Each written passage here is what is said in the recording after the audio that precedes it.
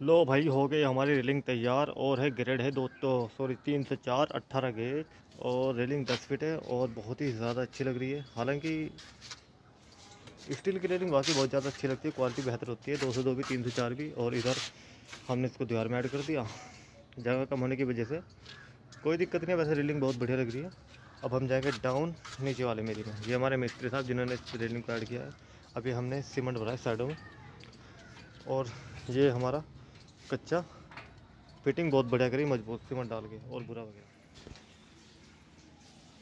तो दोस्तों, एक तो ऊपर लगा गई है और एक ये है ठीक है, ये दस फीट का पूरा टॉप है इसका सेम पोजीशन ऊपर वाली है, और ये तीन सौ चार है हालाँकि मैंने अभी पहले दिखाया था, वो देख नहीं रहा था कैमरे में। हो सकता है यहाँ पर दिख जाए। हाँ दिख गया दिख गया। ये रहा, तीन सौ चार लिखा हुआ, शायद धुंधला हो रहा है। ये तीन सौ चार है। बाकी दोस्तों, ये पूरा जो है ना, इसमें स्टेप यूज़ नहीं किया गया, इसमें डेढ़ बाई डेढ़ का पाइप यूज़ किया जैसा टॉप है, ऐसा डेढ़ बाई का डेढ़ का ये, और आधे इंच का पाइप बीच में, और ये दीवार में हमने अंडरग्राउंड कर दिया, और सीमेंट वगैरह बिल्कुल सेट करके इसमें हमने फासनर का कोई उपयोग नहीं किया, हमने इसमें जो उपयोग किया है, वो क्या है, इसमें डेढ़, दो इंची दीवार के अंदर गया है वाइट सीमेंट और पूरा मिक्स करके पूरा फिट कर दिया है।